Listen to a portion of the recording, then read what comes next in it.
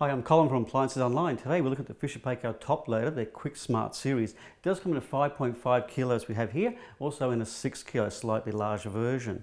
Let's have a look at some nice features with this machine.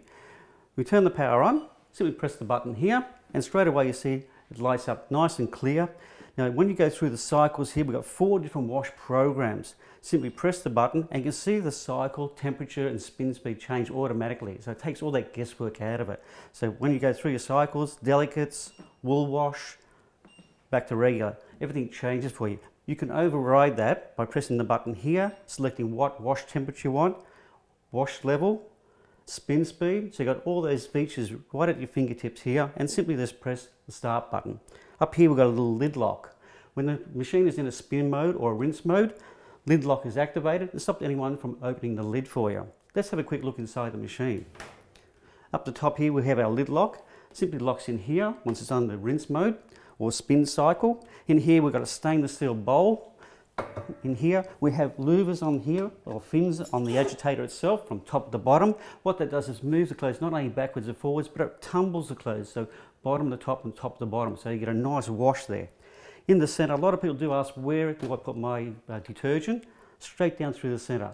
It's just below the conditioner dispenser, straight through the middle. It mixes in with the wash uh, water, breaks all down the uh, enzymes, the detergent, so you don't get any residue on your clothes. In here we have our uh, fabric softener.